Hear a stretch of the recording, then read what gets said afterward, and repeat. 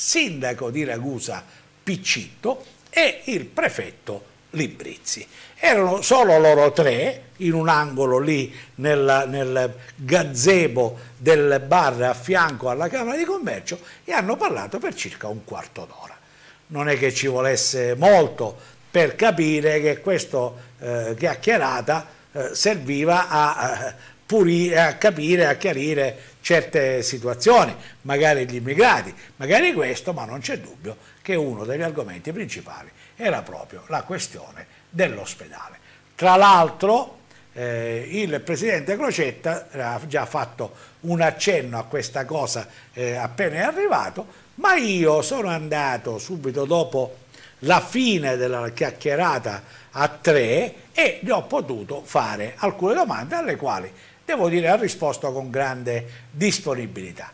Non vi posso ripetere eh, che cosa ha detto quello fuori dai microfoni, ha anche indicato quello che per lui è il colpevole di tutta questa storia, ma noi l'avevamo già capito precedentemente e però ha fatto una promessa solenne. Io mi impegnerò perché l'ospedale di Ragusa deve riaprire al più presto. Sentiamo Crocetta. Ho parlato col, col prefetto, la mia posizione è sempre stata quella che questo ospedale deve aprire al più presto possibile. Ci, saranno, ci sono i problemi del contenzioso, eventualmente amministrativo, l'inchiesta è una cosa, però eh, occorre verificare con la Procura se ci sono le condizioni di agibilità. Io la prossima settimana comunque organizzerò una conferenza dei servizi per vedere di risolvere questo problema perché i ragusani non possono andare a finire all'ospedale di Modica quando hanno una struttura in città. Fra l'altro il permanere dell'ospedale chiuso determina un costo annuo di affitti che è intorno a 700 mila euro e qui che potrebbero sicuramente essere destinati per migliorare la, la, sanità. Io penso a quante cose si potrebbero fare con 700 mila euro. Abbiamo i locali e non li utilizziamo, quindi spero veramente di poter contribuire alla più rapida possibile apertura. Allora, il Presidente Crocetta ha eh, chiarito che si muoverà al più presto per cercare di ridare l'ospedale ai, no, ai ragusani. E noi sappiamo che giorno eh, 21 dovrebbe essere pronta questa scia, che è questo documento di inizio di attività, e noi da quel giorno inizieremo a contare mettendo un countdown, ma countdown è a scendere, un count up, no? un conto a salire per i giorni che eh, trascorreranno dal momento in cui verrà data la scia. Perché ricordate cosa dissero nella commissione di venerdì, cos'era, mercoledì scorso, quando eh, qualcuno della direzione eh, dell'ASP ha detto potete stare freschi, dopo la scia noi non firmeremo una carta, così ci metterebbero in grande difficoltà perché il rischio, ve l'ho già detto ieri, è che arriveremo alle prossime elezioni regionali e nazionali. Seguiremo questa cosa e faremo presente anche a Crocetta quello che ha detto in questa intervista, ribadendo che si è fatto portare avanti, si è fatto convincere da qualcuno ad effettuare quelle manovre che hanno poi distrutto tutta l'organizzazione, con tutti i limiti che aveva Ricò, con tutti gli sbagli che può avere fatto, ma quando si era superato il cosiddetto punto del non ritorno bisognava andare avanti e lì, insisto nel dire, il sindaco ha le sue colpe. Chiuso questo argomento, torniamo a questo appuntamento di, eh, di oggi. Prima di far vedere le immagini, un paio di cose, una velocissima. Stamattina a Palermo sono andati quelli di articolo 1 della sinistra italiana a parlare con Leo Luco Orlando. Dice, ma che ne interessa? Leo Luco Orlando a Palermo, chi è il sindaco? Che, che ne interessa della regione?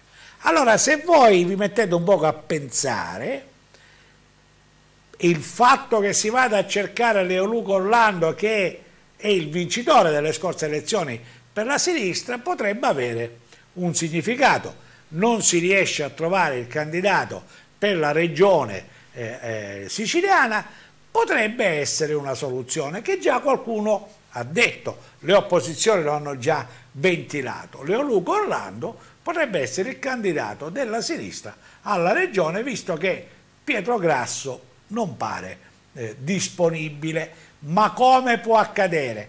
Per accadere questo, dobbiamo dire la verità, ci vuole un segnale da parte di Crocetta, che si metta da parte, ma soprattutto che si dimetta, perché dimettendosi farebbe scattare quella, eh, que quella mancanza di limiti, cioè uno, eh, visto che si è dimesso, anche che sindaco mi dimetto e faccio il candidato. Bisogna vedere cosa diranno ai palermitani e cosa diranno ai siciliani in questo caso. Ma c'è ancora da discutere, dobbiamo aspettare il centrodestra, dobbiamo aspettare tutto quello che voi sapete. Tra le altre cose abbiamo i soliti problemi. L'onorevole Minaldo ci informa che la Siracusa gela il tratto Rosolini-Modica è di nuovo fermo. Come al solito, non cambia nulla, come al solito, è di nuovo fermo. E allora Nino Minaldo dice, ma è mai possibile? Ogni volta la stessa storia. Ma come dobbiamo andare avanti? C'è una grande incompiuta. Di incompiute siamo professionisti. Pensate alla questione ospedale, un gra una grande incompiuta. Ma torniamo invece all'appuntamento di oggi che si è svolto alla Camera di Commercio stracolma, come vedete. C'erano un po' tutti, sia perché si parlava, c'era il Presidente della Regione, quindi personalità, ma anche perché il tema è particolarmente interessante. Tutte le risposte alle domande degli imprenditori eh, per quello che riguarda l'economia. Allora, è chiaro che questa storia faceva gola e a tanti, gli imprenditori, giovani, ragazzi, tutti quelli che poter, vogliono investire nel loro futuro eh, e magari con un aiuto da parte della comunità europea. Il Presidente Crocetta era presente perché si sta facendo un tour, un tour eh, qualificato Agrigento ed altre città per spiegare quali sono i punti salienti di questa eh, grande scommessa che sono i fondi della comunità europea. Naturalmente, oltre a spiegarci un po' quella che è la risorsa europea, il Presidente Crocetta ha anche toccato alcuni argomenti delicati, come per esempio quello delle province. Vediamo. Beh, non ultima occasione, stamattina siamo stati a Crescente, l'altro giorno a Catania, ora a Ragusa, saremo a Siracusa venerdì, stiamo girando tutta la Sicilia per trasmettere tre messaggi importanti. La prima che abbiamo fatto bene sul rendiconto precedente perché avevamo trovato una, una rendicontazione in cinque anni di fondi europei al 12,5%, l'abbiamo portato al 100%, l'anno scorso abbiamo fatto la migliore performance in Italia, una scommessa quasi impossibile, quindi non un centesimo torna alla, alla, a Bruxelles e nel frattempo anche parte la nuova programmazione soprattutto con le attività economiche, con, che sarà una diciamo, un accesso a sportello, quindi molto facile per le imprese che debbono fare investimenti. La seconda questione è che questo va pari passo la nuova programmazione con il patto per la Sicilia dove già dei 2 miliardi e 300 milioni da, che avevamo uh, che, da impegnare nel periodo 17-18 già siamo a oltre 500 milioni, quindi significa che entro settembre potremo arrivare a un miliardo, quindi metà esattamente rispettando il cronoprogramma, cioè un miliardo nel 2017 e un miliardo nel 2018. E questo potrà contribuire a far crescere il PIL, perché è evidente che se noi abbiamo qualche modo interrotto quel ciclo terrificante che ci vedeva perdere ogni anno occupazione e PIL che va dal 2007 al 2013 dove sono persi 14 punti di PIL per intenderci e due, oltre 200.000 posti di lavoro. Molte imprese ancora oggi pagano il prezzo degli indebitamenti in quegli anni, soprattutto nel campo agricolo. Che c'è una Sicilia in crescita in questo momento, sia per quanto riguarda il turismo, lo vedete nella vostra provincia particolarmente baciata, Ragusa, eh, con la riscoperta delle città d'arte, gli itinerari di Montalbano, ma anche le bellissime spiagge, il eh, Ragusa Ibla, Scicli, Modica, c'è una serie di realtà eh, importanti che stanno dove il turismo sta diventando permanente stanziale, non soltanto episodico. Questo anche qui la capacità recettiva turistica in qualche modo anche legata molto al, proprio all'utilizzo serio che abbiamo fatto della programmazione europea, da dove abbiamo smesso di fare finanziare per il turismo grandi, le, le, grandi strutture delle multinazionali e invece diffondere l'albergo diffuso, il bed and breakfast che sono il modello culturale fatto dai nuovi turistici chiamo. Cresce il biologico e quindi anche eh, l'export agricolo, quindi un'attenzione particolare ai nuovi bandi a questo, Crescono, cresce il manifatturiero con una riconversione di tipo industriale, perché mentre prima il nostro export era tutto legato al petrolio, il petrolio diminuisce, è evidente anche la chiusura della raffineria di Gela ovviamente contribuisce a questo ragionamento, i nuovi pozzi sono solo gas e non petrolio, per intenderci le nuove autorizzazioni, quindi non ci saranno autorizzazioni petrolifere e si riconverte nei settori dell'alta tecnologia del, legate alla verticalizzazione dei prodotti agricoli. Guardate, i migliori panettoni si fanno in, in Sicilia adesso, Fiasconaro, i Cuspidi, cioè in, abbiamo un utilizzo di tutti i prodotti di eccellenza agricoli, dal pistacchio alle, alle mandorle e c'è un export notevole dell'industria dolciaria, ma abbiamo anche l'export di, di, di caffè di marca, ma anche di macchinari di marca. Quindi un manifatturiero che cresce e questo ha determinato negli ultimi due anni e mezzo la crescita di 3,6% di PIL che un attimo ho finito, che è il doppio esatto della media nazionale, 1008 e anche una, finalmente una tendenza inversa sull'occupazione, non più eh, un ritmo di 30.000 posti che si perdevano l'anno, ma invece negli ultimi due anni abbiamo avuto più 35.000 posti l'anno e quindi quasi 70.000 posti di lavoro in più.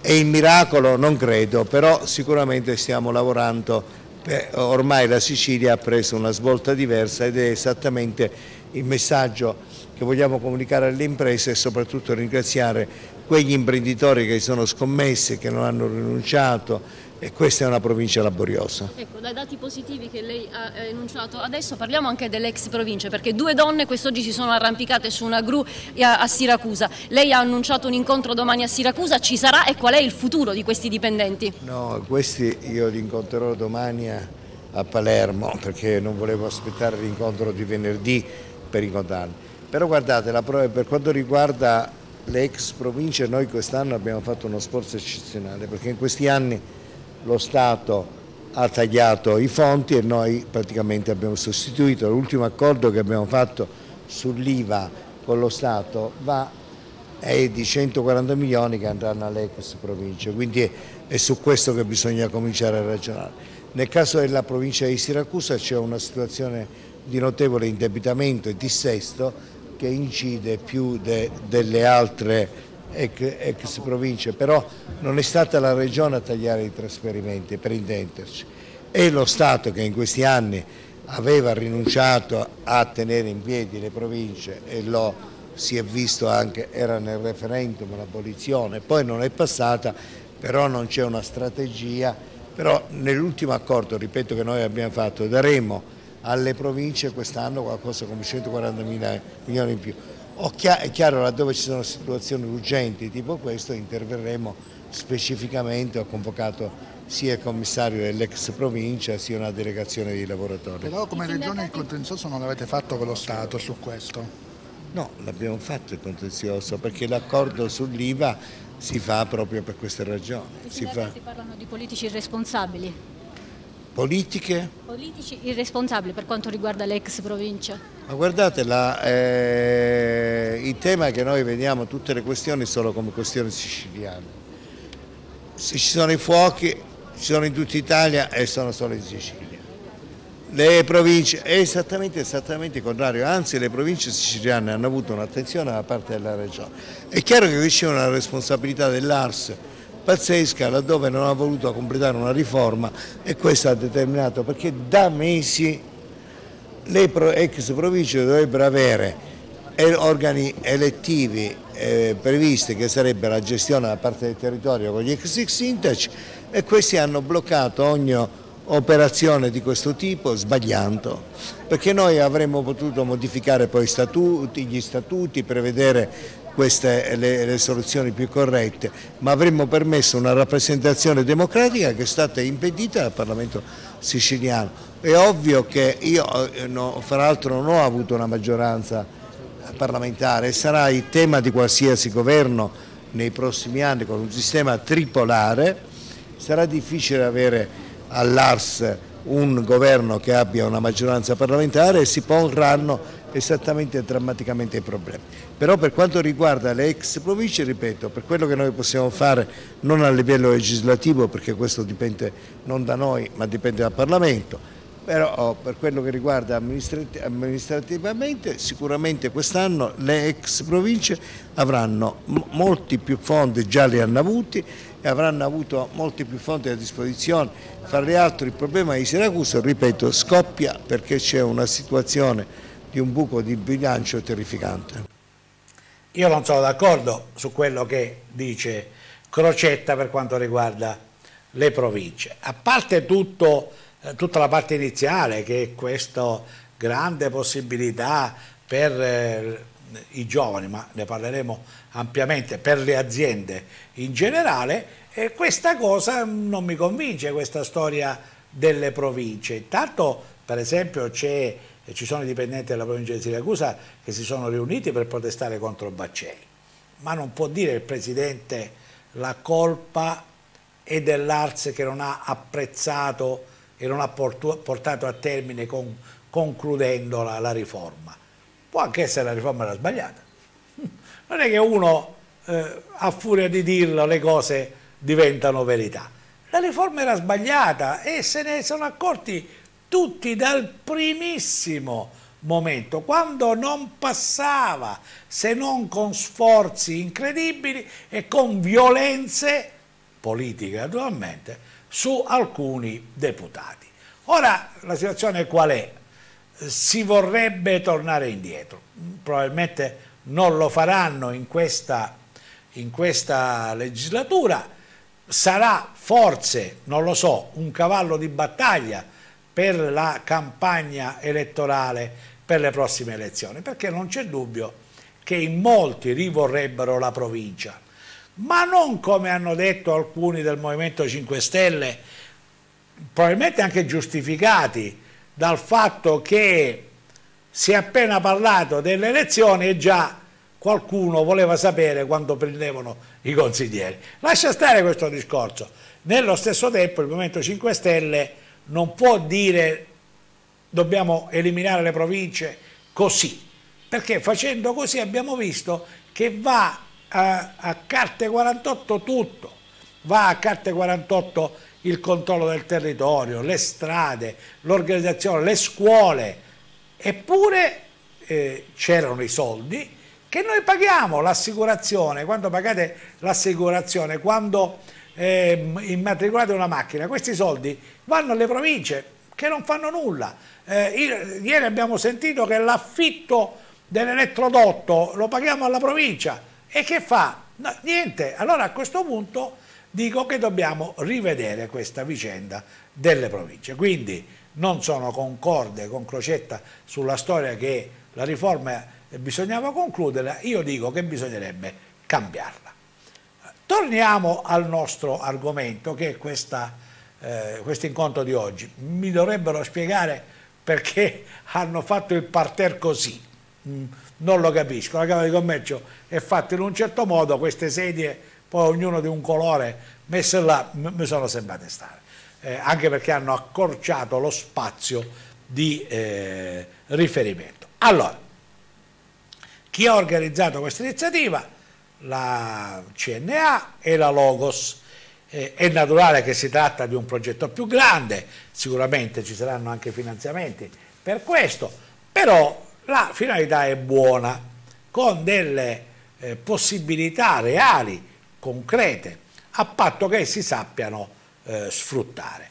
Io ascol abbiamo ascoltato, perché fa parte proprio di, grande, di questa grande idea del, di, di questo appuntamento, abbiamo ascoltato il Presidente della CNA Santocono e il Presidente della Logos Alessio. Sentiamo. Questa è Teleiblea.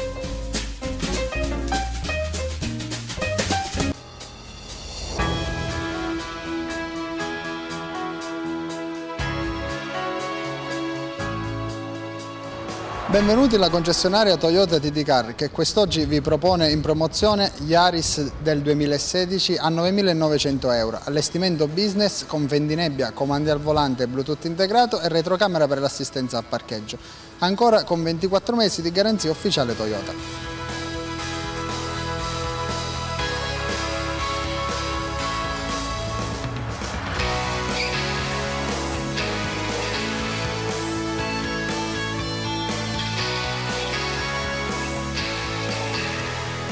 La vasta gamma dell'usato Toyota TD Car propone auto di tutte le marche, non solo Toyota. Venite a trovarci per vedere le nostre nuove offerte.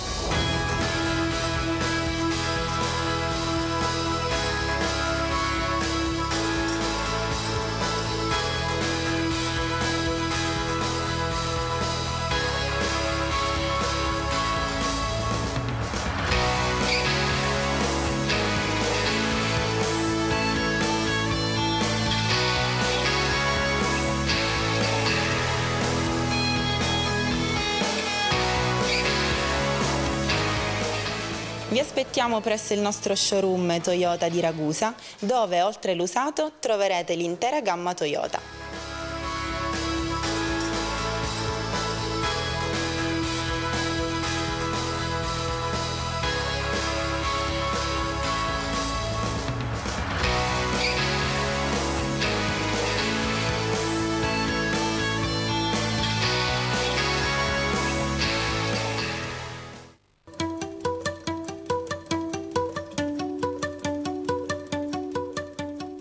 Giochi e passatempi, via del Salice 128 a Ragusa.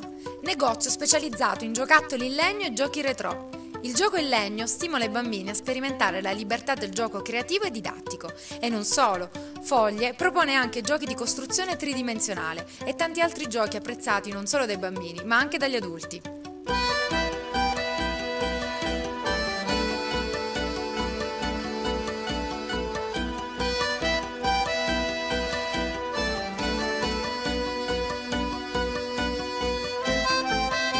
Gioco è il lavoro del bambino. Vieni a scoprirlo da Foglie, Giochi e Passatempi. Vi aspettiamo in via del Salice 128 a Ragusa.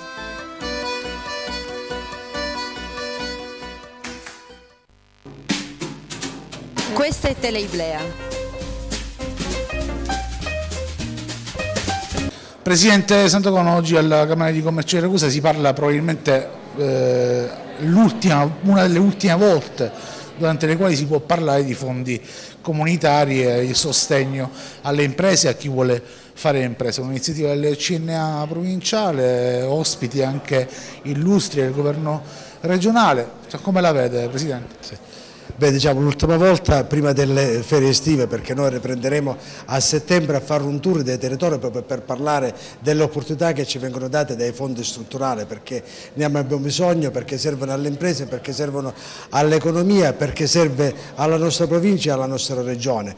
Noi con questo workshop, con questo incontro abbiamo voluto portare eh, quella che era eh, l'opportunità eh, dei fondi strutturali a conoscenza delle imprese, dei professionisti e delle aziende in generale. eh, abbiamo bisogno tutti di avere delle risorse disponibili per poterci migliorare come imprese, per poter investire sulle nostre attività, per rinnovare eh, i prodotti, per internazionalizzarci e quindi necessariamente dei, quando, allora, quando, il sistema bancario non ci dà supporto, quelli che sono i fondi comunitari sono una risorsa importante da non perdere, da non eh, sciupare come è stato fatto in passato.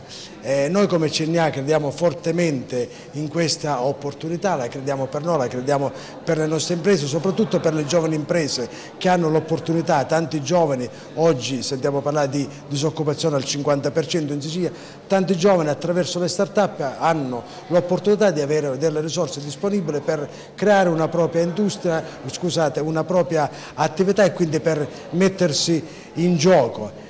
Ecco, noi siamo fortemente convinti che tutto questo vada promozionato, tutto questo qua vada portato nei territori, vada incentivato. Allo stesso tempo come struttura, come CNA, assieme alla Logos già siamo pronti per indirizzare, per consigliare, per suggerire, per far, poter fare accedere alle imprese che eh, lo vorressero a quelli che sono i canali di finanziamenti europei.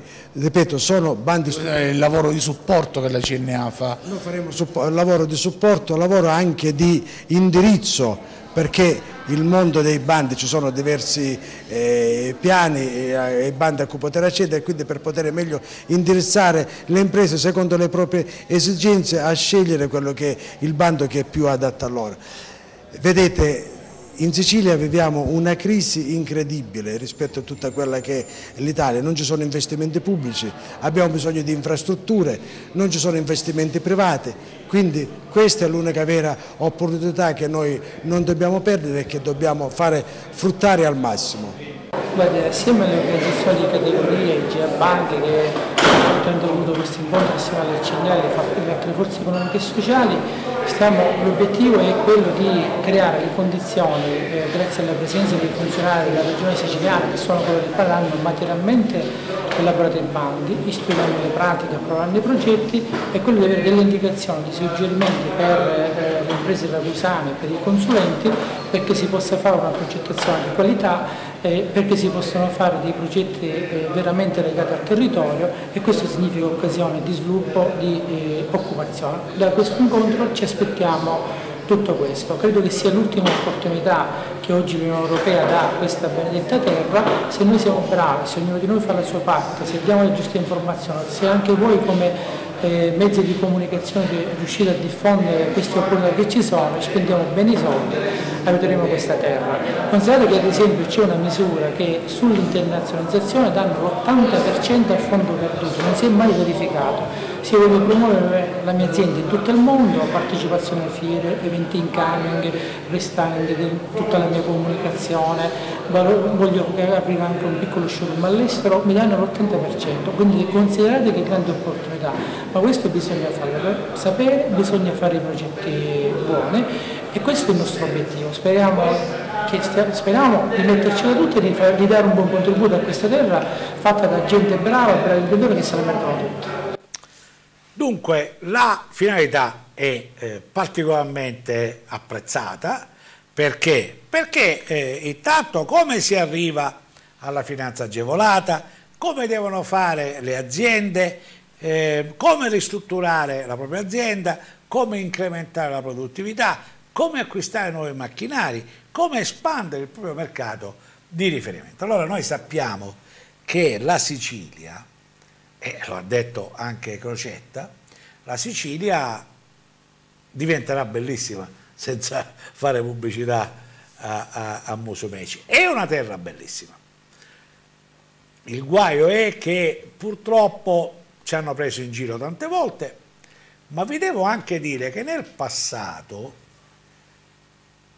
ci sono stati tanti imbroglioni, ma tanti, forse di più di quelli che erano quelli buoni, per cui hanno fatto girare la voce che in Sicilia non sapevamo fare un progetto, non portava nessun risultato, eh, non si sapeva fare la rendicontazione e i soldi restavano lì. Ora un po' è cambiata e io spero che cambi anche con questa serie di misure eh, che poi eh, potrete andare a cercare nei siti giusti, perché sono misure che danno dal 50 all'80% anche a fondo perduto, ovviamente è più facile il 50 che l'80% trovarlo, e, e quindi è una bella cosa. Però il patto è quello, togliamo tutti quelli che sono professionisti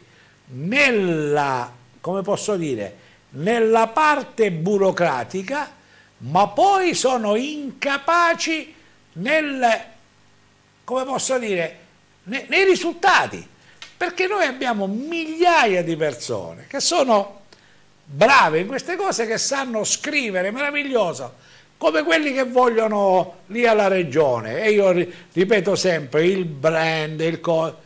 Poi ci senti, ma i risultati dove sono? Negli ultimi anni io vi posso far vedere GAC, GAL, eh, distretti, dove sono stati spesi milioni di euro, ma avessero portato un risultato. Progetti che sono partiti, Interreg, Tunisia, Malta, e cosa hanno portato di risultato?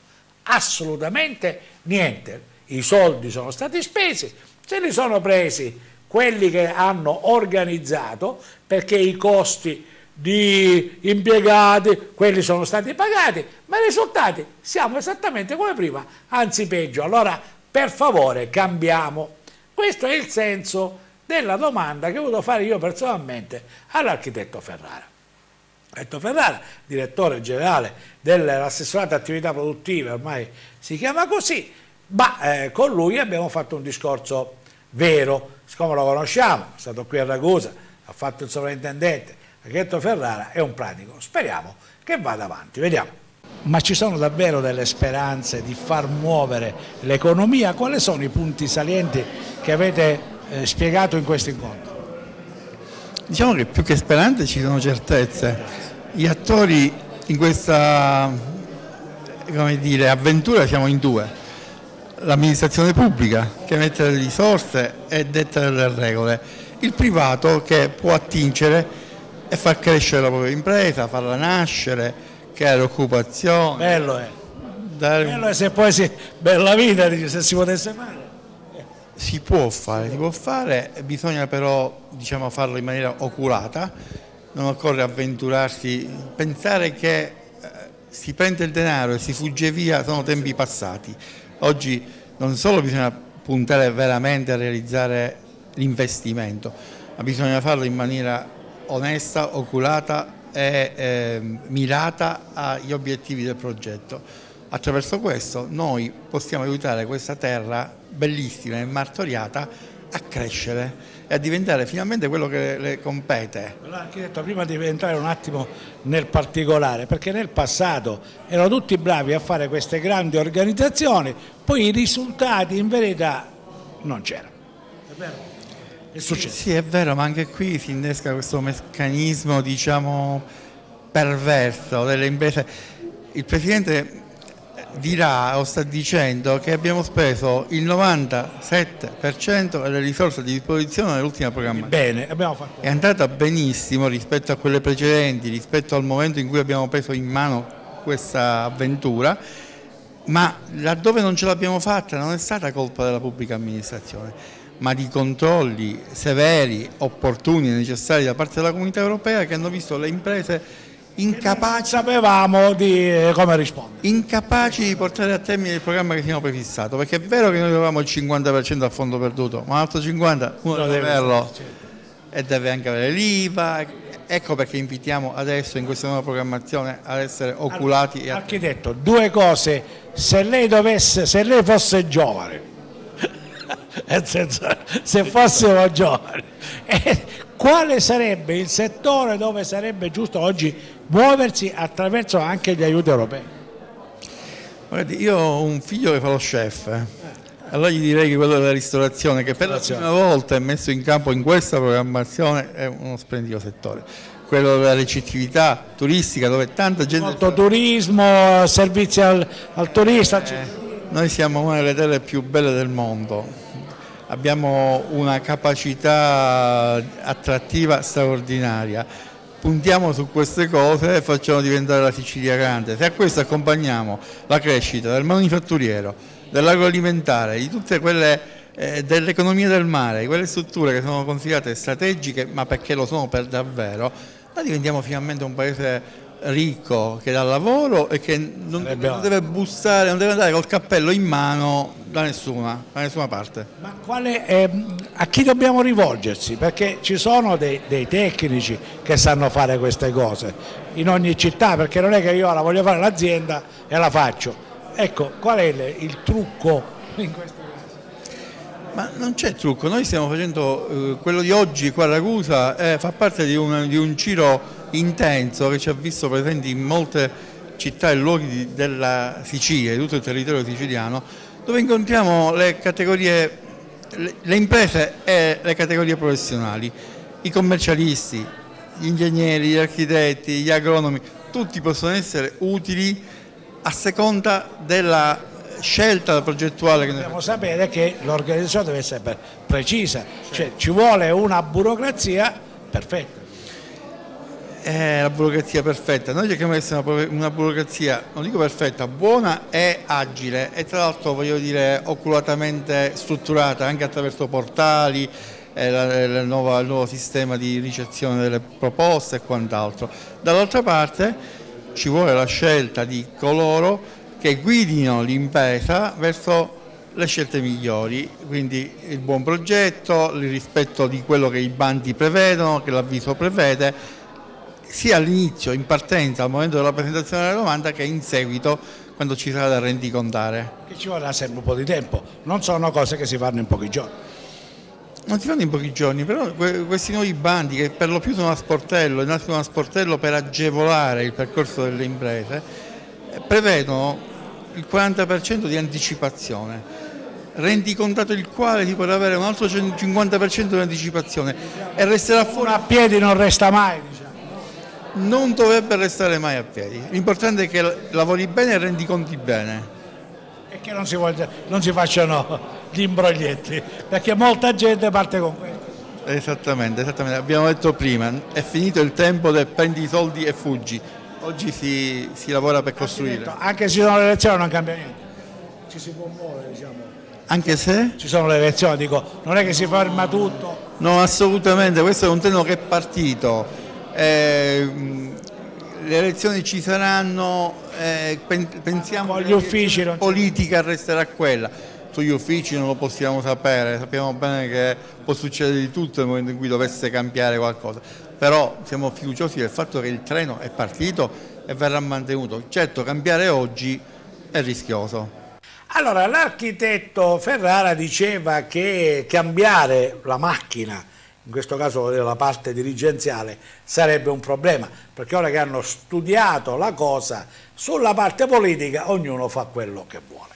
Quindi avete capito, se riusciamo a trovare le persone giuste, con i prezzi giusti, che sanno fare i progetti giusti, eh, facendo progetti intelligenti, attenzione, anche un po' innovativi, potrebbe essere un, un, un, risultato per il futuro eh, importante. Quali sono le cose? La ricettività, la ristorazione, il Presidente Crocetta addirittura nell'intervento ha detto una cosa con la quale non sono molto d'accordo, ha detto puntiamo molto sul turismo, soprattutto sui B&B.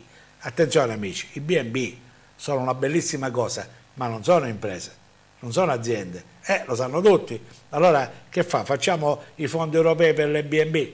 Non, non è possibile. Detto questo, chiudiamo l'argomento relativo a questa eh, manifestazione che abbiamo seguito, come avete visto, con grande attenzione. Sappiamo con certezza che ci sono fondi ai quali dobbiamo saper accedere. Restiamo in questo settore, che è un settore molto importante, visto che tutti, tutti dicono che dobbiamo vivere di turismo. Ora c'è stato questi due, due, due fine settimana che sono stati poveri di turismo, perché poi il turismo, capite, capite vive di particolari situazioni contingenti, no?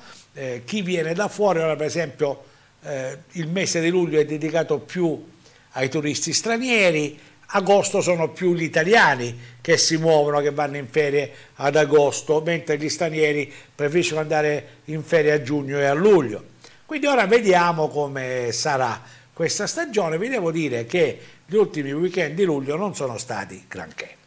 Il problema è anche organizzare qualcosa che aiuti, che dia, eh, come posso dire, eh, l'aggio ai turisti di fare qualcosa. Si è parlato del bus scoperto che collega Noto, non so dove arriva perché, voi sapete, certe cose sono imponderabili.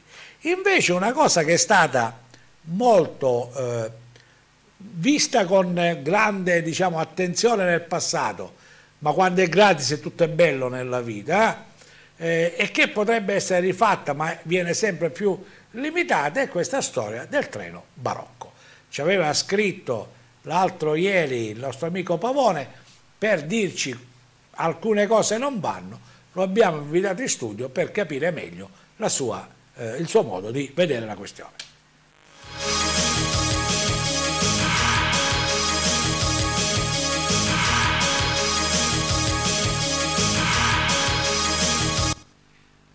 Vedete, alle mie spalle una delle cose delle quali vi ho sempre rotto la testa, una delle mie passioni che è il treno. Nel caso particolare è un treno a vapore e una locomotiva e nel caso ancora più particolare quello lì dovrebbe essere un'immagine del treno barocco. Sì, sì. Chiedo conferma al mio ospite che Daniele Pavone, il quale è un, uno di coloro che ha sempre seguito questa iniziativa piccolissimo inciso, io non c'ho niente contro il treno barocco, ma penso dovrebbe essere un treno aggiuntivo ai tanti treni che dovrebbero circolare sulla linea, ma tutti nella vita abbiamo dei sogni, c'è anche gente che spera di vincere il Superenalotto, no? Sì, esatto. Allora Daniele, perché stiamo a parlare del treno barocco? Perché insomma non è che quest'anno brilli per la sua frequenza di corse, ecco, diciamo così. Sì, perché è uscito da poco il programma ufficiale. Eh, che avrà inizio ufficialmente quando? Sì, adesso, fine, fine luglio ci saranno le prime corse, sono in tutto quattro corse previste,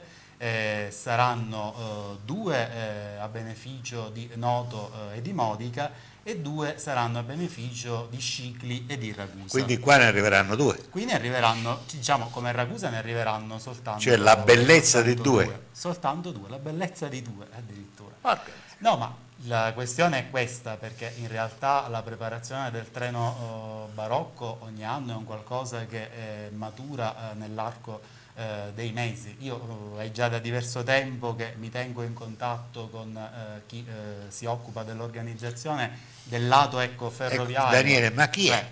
La, allora, chi è? questi treni... Spieghiamolo alla gente. Allora, spieghiamolo, perché è una faccenda un pochino complessa. Allora, chi si occupa fattivamente del treno storico, cioè dei mezzi, della manutenzione, anche del restauro, perché comunque parliamo esatto. di viaggiare a bordo di carrozze eh, progettate alla fine degli anni 20, quindi sono carrozze che ormai hanno sulle spalle i loro begli 80 anni di età, certo. non sono certo delle carrozze e eh, moderne, e tantissimi, tantissimi chilometri davvero, eh, sono le associazioni di appassionati e di ferrovieri le quali ormai da eh, pochi anni fanno capo tutte quante alla Fondazione FS. Questo perché finalmente dopo eh, decenni durante i quali tantissimi mezzi anche importanti per la storia non solo delle nostre ferrovie ma proprio del nostro paese si sono perduti, finalmente eh, Trenitalia ha eh, realizzato questa fondazione, istituito questa fondazione che ha sede a Roma. Sta facendo un grande lavoro. E questa sta facendo un grande lavoro. Non so se l'hanno già fatto, l'anno prossimo c'è addirittura c'è l'Arlechino, c'è il Sette Bello sì, che verrà fuori. stanno recuperando, questi sono degli elettrotreni storici che ormai erano fermi e accantonati da tantissimi anni a prendere ruggine. Eh, sono tra l'altro degli esempi meravigliosi di design eh, italiano degli anni 50-60 che saranno tutti quanti recuperati, addirittura questo forse lei non lo sa ancora, io ho saputo in questi giorni che recupereranno una tartaruga nel suo aspetto originale, sarebbe un sarebbe il mezzo elettrico, un il locomotore elettrico locomotore. di fine anni 60, questi sono stati tutti modificati eh, una ventina di anni fa cambiando i frontali e ora si è deciso di recuperare l'aspetto La dei frontali molto originali, molto, accattivante. bombata, tipica proprio di fine anni, anni 60. Tra l'altro una cosa che non è nota a tutti è che proprio in questi, mezzi, in questi mesi, grazie a una eh, deputata eh, del Partito Democratico, eh, l'onorevole Iacono, finalmente il nostro Paese si sta anche dotando eh, di, un, eh, di una legge che tuteli le cosiddette ferrovie di interesse turistico, che sono sia ferrovie ancora attive, eh, sia ferrovie La che sono state sono più. Eh, o non più eh, in esercizio, quindi ferrovie dismesse, o addirittura smantellate. Un caso potrebbe essere, anche se ancora non è stata riconosciuta tale, la nostra cara ferrovia di Ciccio Pecora. ce ne, che ne abbiamo uno un- che era la più tante c'è la. Noto Pochino per C'è esempio. la Noto, quella è stata inserita direttamente già nella proposta di legge tra le quattro ferrovie siciliane che direttamente vengono istituite come eh, ferrovie turistiche. Quindi ritornano ad essere ferrovie con i binari, eccetera. Esatto, ritorna a essere ferrovie come i binari, certo è chiaro che per esempio nel caso della Notopachina i binari ci sono ancora ma è come se non ci Eh, vabbè, fossero. Lo sviluppo è quello Ma intanto di per- allora. Torniamo, Però, sappiamo che ecco, questa fa fondazione, questa ma la fondazione è a. Roma e lo fa per i treni del, del Cunese, per i treni del Birè, per i treni delle- della Val Vigezzo e anche per qua. Lo Ma fa qua per tutta che Italia. Poi in Sicilia in particolar modo eh, ci sono due associazioni che fanno capo alla fondazione.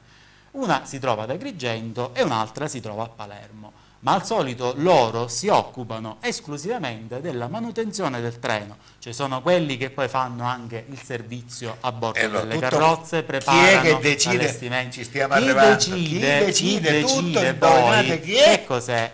È la regione Oh, Sicilia. guarda. Perché purtroppo questi treni hanno dei costi abbastanza vero, elevati. Parliamo di cifre eh, a quattro zeri per ogni corsa. Per cui purtroppo hanno necessità ogni volta di un, eh, di un finanziamento per poter essere eh, messi in servizio. Anche perché tra l'altro nel caso nostro subiamo un ulteriore eh, danno che è dato dalla distanza eh, dai depositi in cui questi treni Eh vengono solitamente ricoverati. Questo è da e questo è un questo costo, un costo ulteriore. Quest'anno la Regione Sicilia, a quanto pare non mi sono state comunicate le cifre ufficiali, ma eh, ha messo a disposizione una cifra inferiore. Per cui dalla parte della fondazione e delle associazioni si era eh, proposto un programma abbastanza ricco. Articolate, mentre invece... Mentre i fondi sono stati quelli che sono, per cui le corse saranno solo quattro. Che cosa succede? L'anno scorso, per esempio, erano state inserite nel programma del treno Barocco sia il castello di Donna Fugata, che già qualche mese prima era stato oggetto di una corsa, sia eh, Comiso. Queste qui sono state inserite, quest'anno non ci saranno più, perché le città che beneficeranno, come ho detto prima, saranno solo Noto, Scicli, Modica e Ragusa. Alf and Alf, quindi una volta due Una e una volta, e una volta le altre due.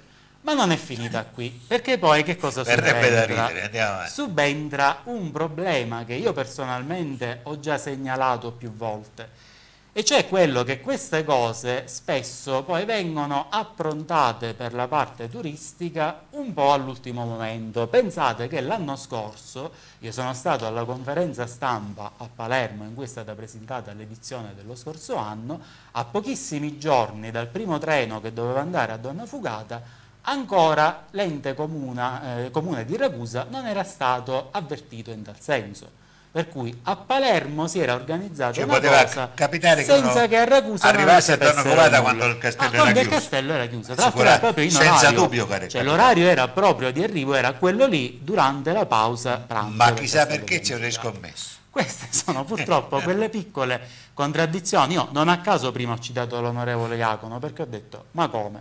Da una parte abbiamo un'area politica che ti fa una legge così bella e dall'altra abbiamo la stessa situazione politica e poi ti combinano queste situazioni. Però, però Daniele, se lei va in giro Però- e ci va a vedere tutte le cose della foto, vede che negli ultimi due anni avranno riattivato almeno percorse strapiene in Abruzzo, la Casarza a, a Napoli, nel Caserdano, ovunque. in Liguria, dovunque. Ma anche in Sicilia, ad Agrigento per esempio, in occasione del Mandorlo in Fiore ci sono state diverse corse con gli stessi treni e hanno avuto un successo enorme. Ma qual è la differenza? E veniamo al punto dolente Guarda, veramente. Dobbiamo dire la differenza vera o quella che diciamo? No, la differenza vera, nel senso che in quel caso eravamo in un periodo della stagione molto più favorevole dal punto di vista climatico e soprattutto non c'era questo stress che adesso eh, si eh, manifesterà con le corse del treno barocco in piena estate.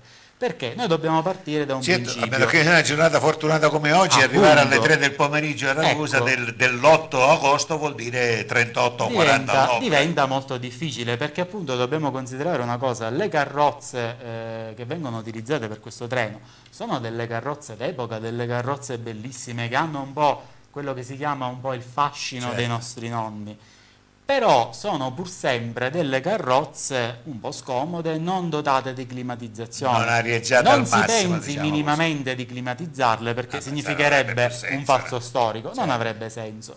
Però è anche vero che bisogna un attimo pensare al comfort dei passeggeri, bisogna anche pensare che proprio per questa impostazione che è stata data, poi loro sono costretti a fare un tour de force, per cui la mattina in un paio d'ore devono visitare una prima città e poi nella piena ora del caldo, all'una e mezza, alle due, si arriva o a Scicli, o scusate, o a Modica o a Ragusa e in quel caso poi si ha un po' più di tempo, però nelle ore più calde andare a lei, scusa, visitare la lei che città. vedo è molto addentro, ma il signor eh, Fiorelli che arriva a Ragusa alle 2 del pomeriggio, facciamo, lasciando perdere il fatto se non è già squagliato, no?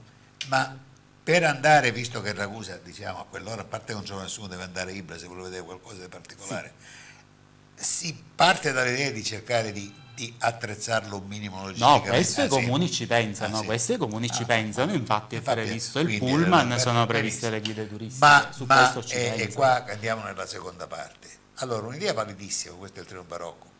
Ha senso se tutto il contorno logistico funziona, ma anche all'interno del treno stesso potrebbe- molti treni hanno degustazioni, hanno Ma molte iniziative, perché ripeto, il bello poi del treno barocco deve essere da una parte perché è giusto, perché è importante la visita delle nostre località, perché altrimenti si perde un po'. E- e- e Ma seguire dall'altro anche il piacere a Certo. bordo. Io ricordo per esempio eh, quando c'è stata l'edizione, non so, di Maratonarte, che c'era eh, questo grande bagagliaio a carrelli, eh, in questo caso era un mezzo eh, degli anni eh, 50, all'interno della quale fu eh, installata una mostra itinerante. Ma non solo, io per esempio che conosco perché l'ho percorsa quasi tutta sia in treno ma anche a piedi la nostra linea, noi abbiamo proprio qui nel Ragusano eh, degli scorci favolosi. Uno per esempio è quello noto immortalato negli anni 50 dal maestro Peppino Leone, foto, che sì. è questo qui. Questo pensate è il torrente sul fiume San Leonardo e qui è a Ragusa, quella sullo sfondo è Ragusa Ibla. non solo. Questo to- Subito ponte- prima o dopo c'è la famosa galleria. poi c'è l'elicoidale, l'elicoidale. venendo ecco la direzione in questa direzione e subito dopo, perché da questa parte si passa sotto Ragusa, quindi sotto Corsa Italia, Piazza Post, e poi si sbuca di nuovo un attimo all'aria aperta e poi inizia questa rampa elicoidale che permette di superare un dislivello di 170 metri, buona parte in galleria, ma anche all'aperto. Ora pensate che il treno viaggia lentamente, ma questo ponte eh, diciamo, consente una visione di pochi istanti perché è compreso tra due gallerie. In alcuni treni storici vengono addirittura organizzate appositamente, previste già eh, nella corsa, delle fermate in questi Ma quelle casi sono notizie che li fanno con la convenzione. per, per permettere sia a chi è a bordo ma anche a chi non è a bordo del treno Di di, gustare, di poter avere questi scorci Ma vede Daniele, qui c'è un'altra cosa che è stata, se io questa fotografia l'adoro, sta sempre dimenticata, vede? queste Questo- sono le cisterne Questo il vuol dire che un di treno stava trasportando Sì. della merce, no? Sì. Che noi non vediamo un treno che trasporta della merce in questa zona, è, è- è una vita. perché ormai è Perché si è deciso, con l'intelligenza massima, che il trasporto su rotaia è infinitamente più ecologico eh, meno costoso e tante altre cose non andava, bisognava privilegiare quello su gomma, tra l'altro su strade che non Esatto. ci sono. Ma lasciamo perdere che poi ci andiamo. Allora, siamo già a 12 minuti.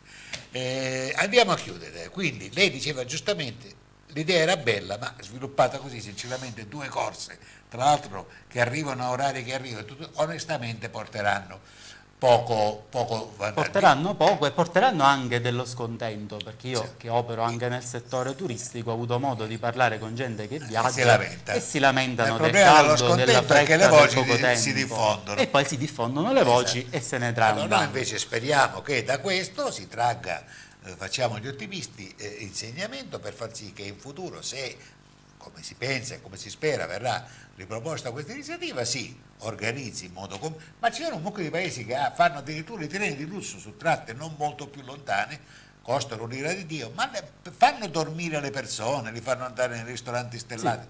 Cioè, devi sapere come promuoverti perché tanto non viene nessuno a dirti bravo. È vero o non è vero? Esattamente. Oh, benissimo.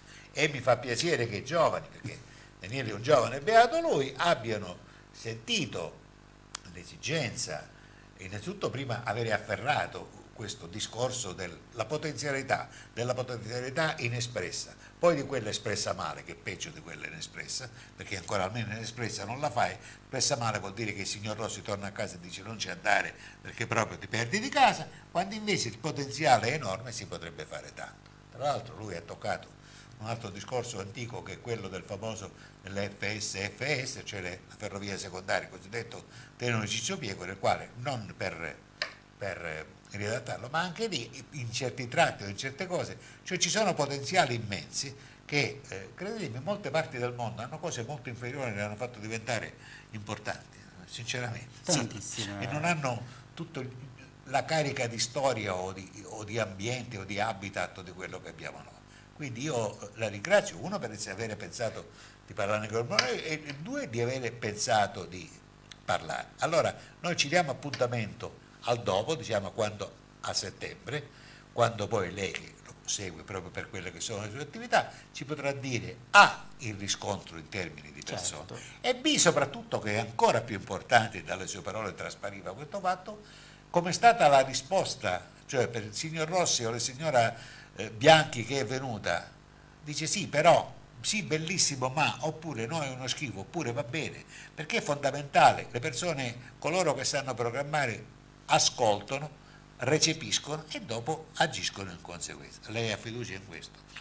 Spero di sì. Il mio auspicio è quello che innanzitutto come territorio, perché troppe volte questo argomento è stato affrontato un po' con eh, certo campanilismo, eh, questo territorio riesca anche in questo a operare sinergicamente e a farsi sentire di più, non un po' a recepire l'evento bello pronto e impacchettato direttamente Cerchiamo di essere un pochino, come dicevano quelli, fabbri o operatori della nostra fortuna. Vi lascio con questo augurio, ringrazio Daniele Pavone e diamoci appuntamento a dopo sperando che sia pure in, in forza minima, due, due nel senso di due e una e una, qualche risultato l'abbiano portato. Grazie a Daniele. Questa è Teleiblea.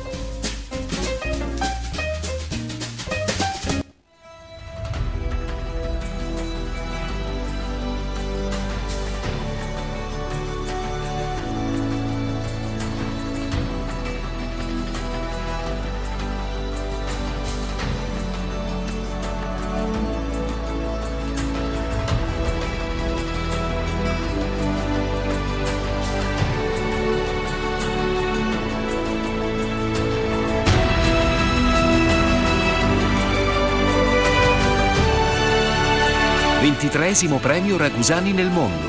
Lo spettacolo del talento ibleo.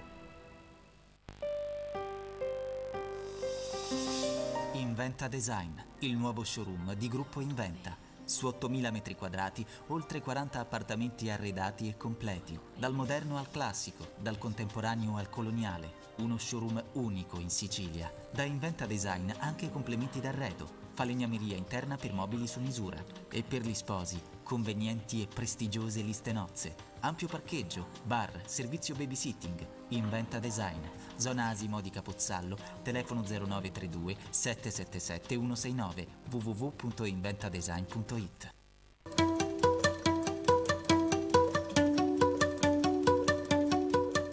Foglie, giochi e passatempi, via del Salice 128 a Ragusa. Negozio specializzato in giocattoli in legno e giochi retro il gioco in legno stimola i bambini a sperimentare la libertà del gioco creativo e didattico. E non solo, Foglie propone anche giochi di costruzione tridimensionale e tanti altri giochi apprezzati non solo dai bambini, ma anche dagli adulti.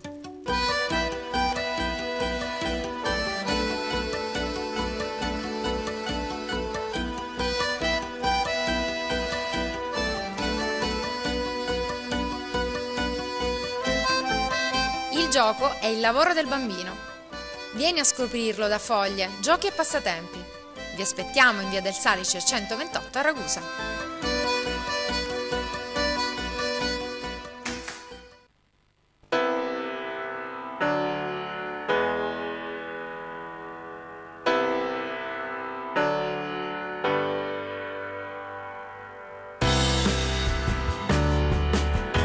Buone nuove dall'usato!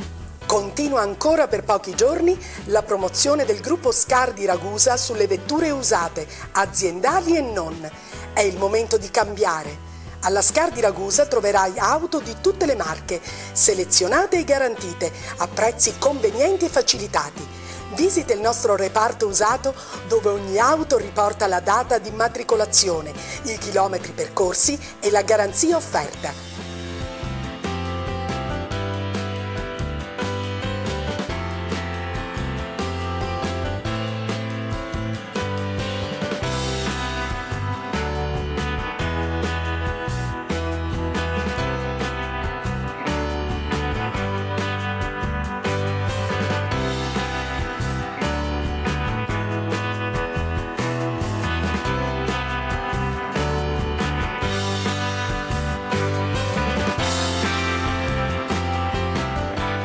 Ti aspettiamo per farti scoprire le tantissime buone nuove dall'usato del gruppo SCA.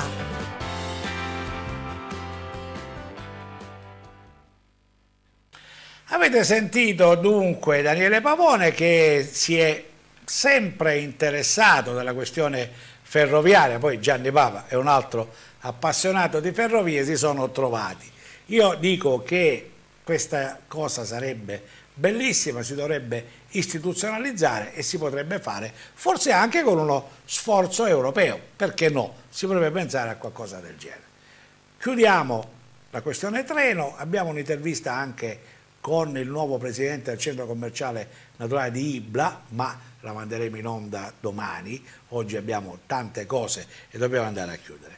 Eh, invece spostiamoci allo IACP, l'Istituto Autonomo delle Casse Popolari perché da tempo, voi sapete, non c'è più il Presidente e siccome si stanno studiando delle riforme sulla vicenda delle case popolari, oggi si è insediato il commissario ad acta Giovanni Rovito che avrà dei compiti proprio per pianificare eh, la vita di questo eh, istituto, le case popolari. È un'intervista che abbiamo praticamente in esclusiva, vediamo di eh, capire perché Rovito è qua a Ragusa. Vediamo. Ospiti dell'Istituto Autonomo Case Popolari della provincia di Ragusa, siamo con il commissario d'ACTA, il dottor Rovito Giovanni, che è appena arrivato proprio a, Ragusa ed è in atto componente della segreteria eh, del, dell'assessore regionale infrastrutture, l'ingegner Bosco.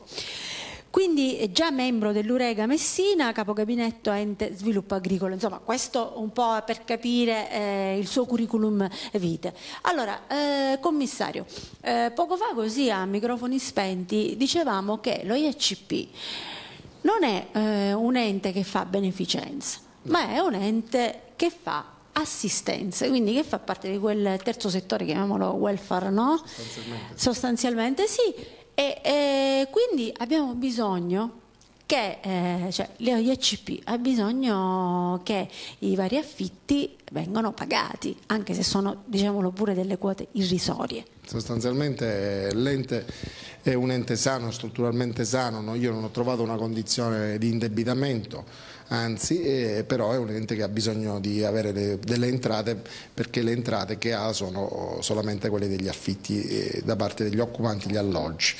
L'ente vive di canoni e perciò attraverso il canone avvia i progetti di sviluppo, perciò nuove costruzioni, ma avvia anche i progetti di manutenzione a favore di coloro che occupano questi appartamenti. Il canone va da 52 euro mese fino a 208 euro, sono canoni ovviamente agevolati in funzione eh, al reddito, ma eh, come tutti gli ACP anche questo IACP ha un elevato tasso di morosità. È una tendenza che si è cercata di invertire, l'azione gestionale del direttore nel passato ha portato a degli importanti risultati, eh, risultati che hanno visto avviare anche una serie di sfratti, eh, proprio perché non deve passare il messaggio e non può passare il messaggio che si può avere una casa e non pagarla, pagarla giusta, pagarla, pagarla per tutti perché così permette ad altri di avere anche un immobile. Esatto. Adesso scendiamo un po' nei particolari, c'è una situazione a Pozzallo eh, che va per quanto riguarda abitativa, eh, per quanto riguarda gli alloggi ACP, eh, che va attenzionata. Sì, io sono stato mandato qui dall'assessore Luigi Bosco, il quale con grande sensibilità è intervenuto prontamente sulla questione Pozzallo, una questione molto delicata, più volte segnalata nel tempo dall'attuale struttura dirigenziale e dalla struttura tecnica. Gli alloggi di Pozzallo realizzati negli anni 70 hanno presentato nel tempo delle situazioni di criticità strutturale eh, sono attualmente abitati da 48 famiglie, l'area su cui sorgono sembrerebbe interessata a, un movimento di una faglia, l'area è stata concessa dall'allora comune di Pozzallo, c'erano delle vecchie perizie geologiche, indubbiamente noi stiamo andando avanti per accertare effettivamente i rischi che potrebbero correre queste famiglie, l'assessore eh, si è prodigato con tutto lo staff di direzione dell'assessorato per rimodulare dei fondi GESCAL affinché questo IACP abbia delle risorse importanti e per l'eventuale messa in sicurezza o per altre condizioni di eh, salvaguardia del, per la pubblica incolumità degli occupanti, perché non si vuole lasciare in una situazione di silenzio una condizione di rischio per, la, per, per gli interi occupanti. Va bene, poi sentiremo anche Scuderetti che cosa eh, ci dirà, ne parleremo domani e domani parleremo anche delle Camere di Commercio perché ci sono delle novità relative al fatto che il 31, mi sembra, ci sia la convocazione della prima assemblea della Supercamera di Commercio. Con tutti i punti interrogativi ne parleremo con l'assessore Lobello che abbiamo intervistato. Chiudiamo questo telegiornale eh, dedicato molto alla politica regionale con un paio di servizi. Sono tutti e due dei servizi che fanno riferimento ad appuntamenti. Il primo è l'intervista al colonnello Martinelli, che è il eh, direttore della banda dei carabinieri. Eh, sarà qui a Ragusa, a Come a Ragusa, in occasione dei Ragusani nel mondo. Domani avremo in studio Sebastiano D'Angelo per parlare dei Ragusani nel mondo e poi